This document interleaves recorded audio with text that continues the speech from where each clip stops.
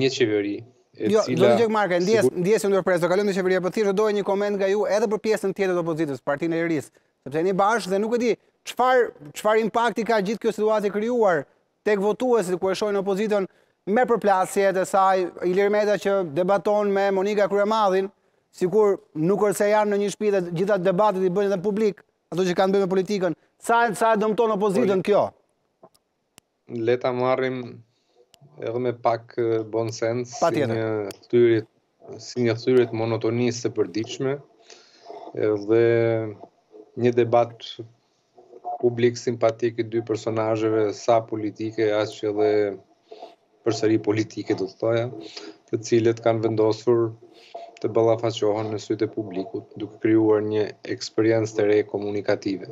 Po mirë, nuk e mendoni profesor ndjesë, shumë ndjesë, kërkoj shumë shumë ndjesë. Nuk e mendoni që njerëzit njerëzit e shohin, a duke qenë se janë burrë e grua, e shohin gjithë këtë si një një film, fakti që ata zihen publik, A është krijohet ky perceptim apo jo?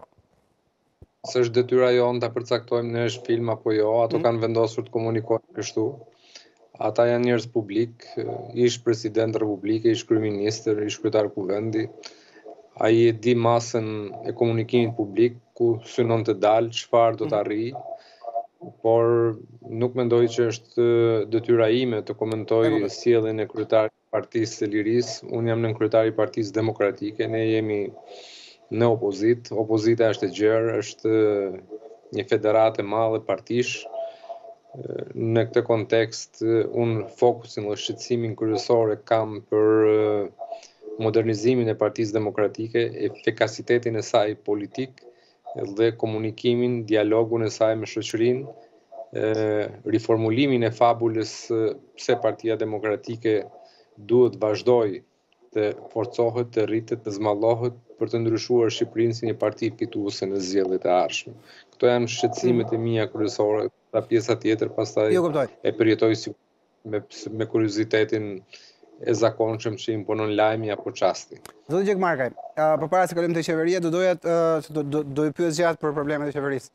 Do doja të pyesja lidhur me me ato që u tha, duhet të uh, disa ndryshime brenda Partisë Demokratike.